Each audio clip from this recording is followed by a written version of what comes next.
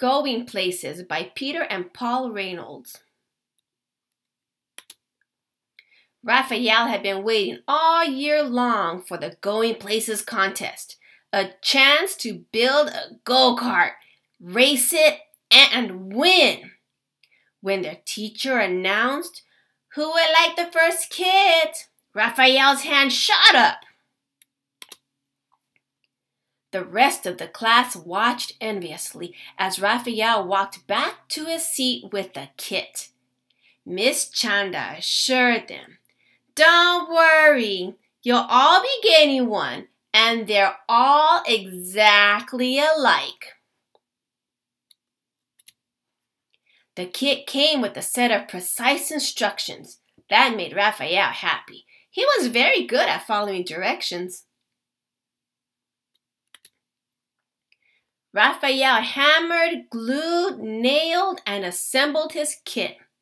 His go kart looked just like the one in the directions. He was feeling quite proud. Raphael wondered how his classmate Maya was doing. She lived right next door. He peered over the fence. Hey, Maya, you haven't even started. Maya didn't respond. She was so intent on watching the bird in front of her and quickly sketching it that she didn't even notice Raphael. Then she just put down her pencil and stared at the bird dreamingly. Raphael shrugged and let her be. The next morning, Raphael checked back in to see how Maya was doing. Wow, what's that? he asked. Maya grinned. You like it? Raphael responded slowly. Yeah, extremely cool. Um, but uh, Maya, there's just one little problem. That's not a go kart. Maya smiled. Who said it had to be a go kart? Raphael was confused. The set of instructions inside the box were for a go kart. But then again, they didn't say it had to be a go kart. He looked again at Maya's contraption. After a moment, he grinned. I get it. Hey, Maya, I really want to win this race.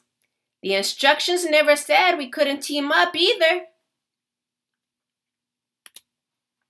And so they did working late into the evening. The next day, everyone gathered for the big race. Each go kart was a perfect replica of the other.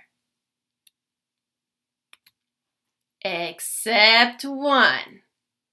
One of the kids laughed. Looks like you had trouble with the going places instructions. You're going places all right, and you're gonna lose.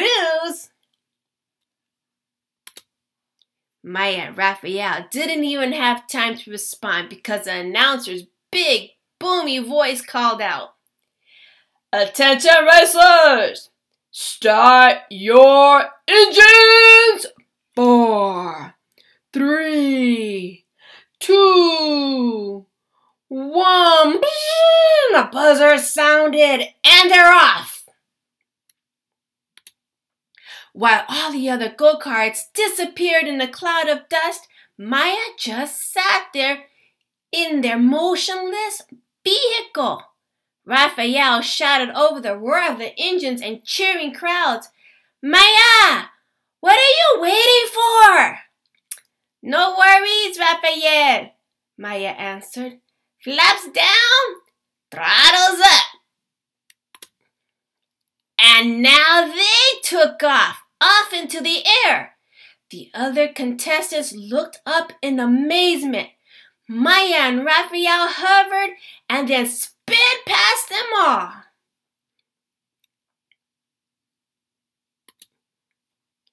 Before long, Maya and Raphael coasted across the finish line to the cheers of the waiting crowd. Yay! Maya, Raphael!